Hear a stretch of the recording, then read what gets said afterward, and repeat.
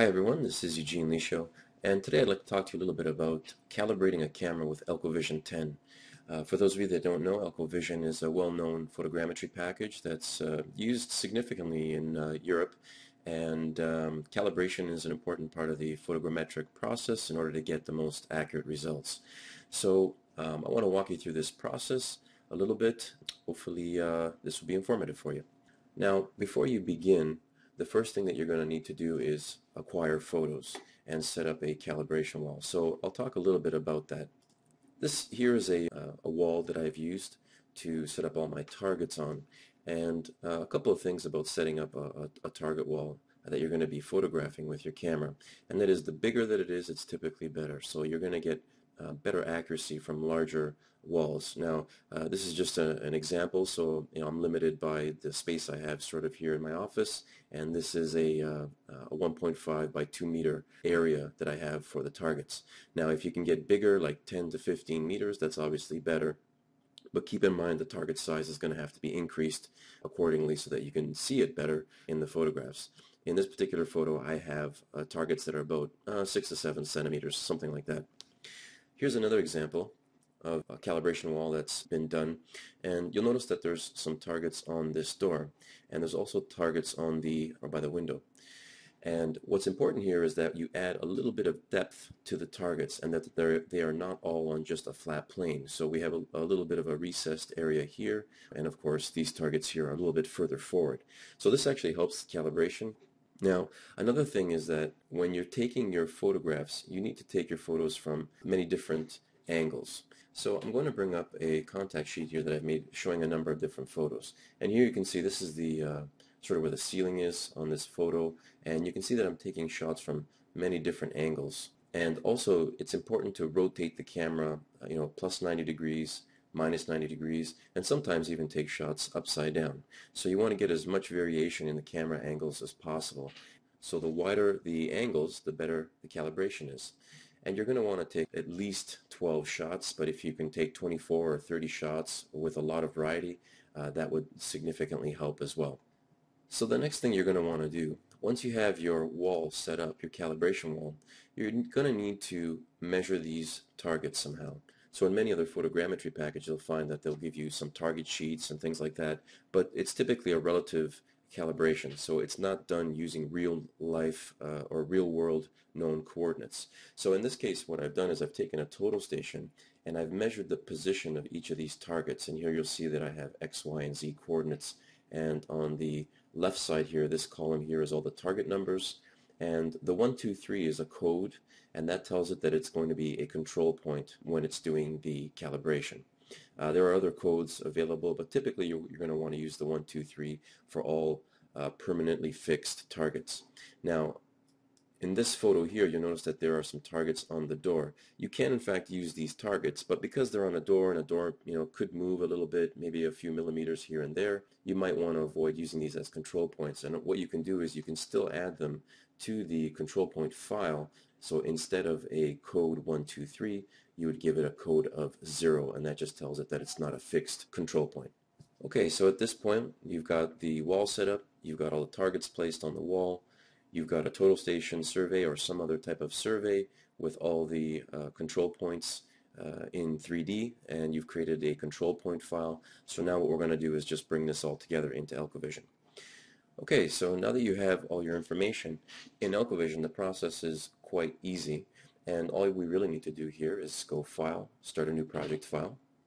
And I'm going to maximize this. And we're going to need to bring in the photographs. So I have a uh, I have a file here with all my photographs, so I'm just going to highlight all the, all the photographs that I want, making sure that I have them all right, and I'm just going to drag and drop them into this space here. So you'll see that it's loading up all the images here. So what I'm going to want to do at this point is simply start the calibration, which is this, uh, this icon right here, full automatic camera calibration.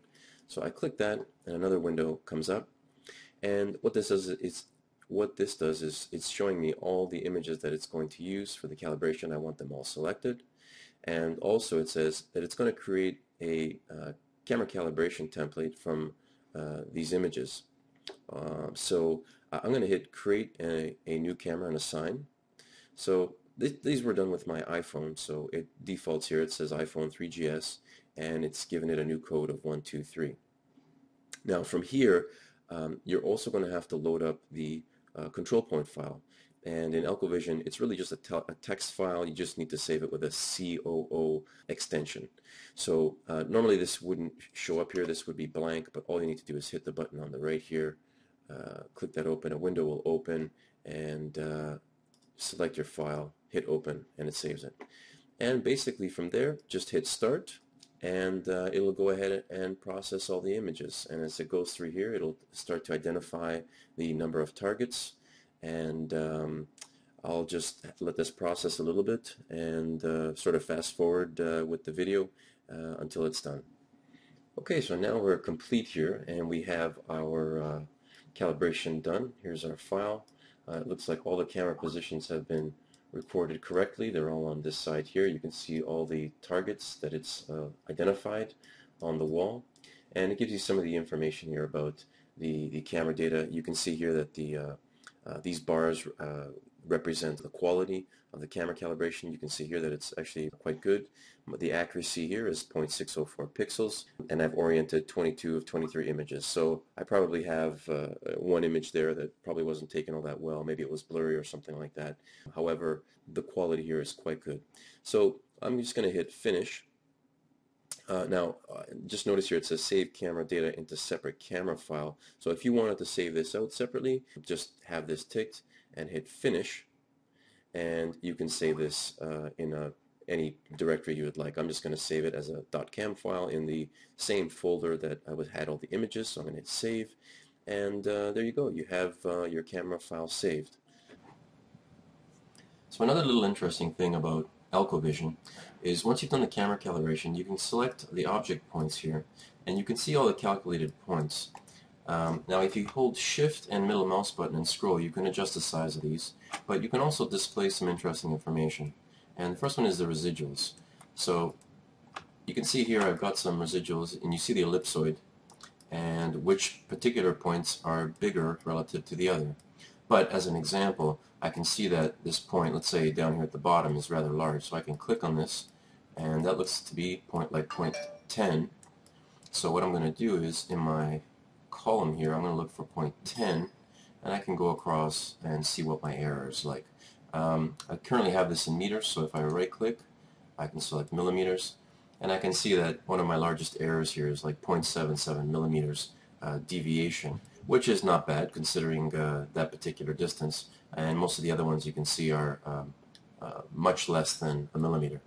So this is uh, an interesting way to look at your project and your calibration and see uh, what uh, points are good and bad and um, you can see all the errors here in the object points table and uh, yeah so it gives you an indication of real world values of, of error.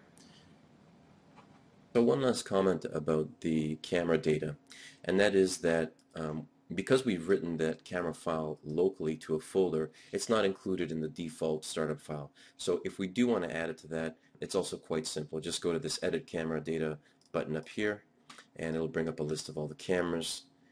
What we want to do is select the camera that we want down here, and where it says Camera File, we just want to hit Save. And what it'll do is it'll actually write that uh, into the uh, default file and I'll just hit OK and we can check that as well. So what I have here is the uh, ElcoVision CAM file and what you'll notice here on the last line and I realize some of this is cut off but um, it says iPhone 3GS so it has in fact put in the data uh, from the camera file and written it to the default uh, file for ElcoVision. So um, that's pretty much all that's involved with calibrating a camera with ElcoVision. It's a pretty simple process uh, once you get the setup done and of course, uh, I did it with my iPhone, but you can use just about any particular camera. And with that, we'll end the video. Thanks.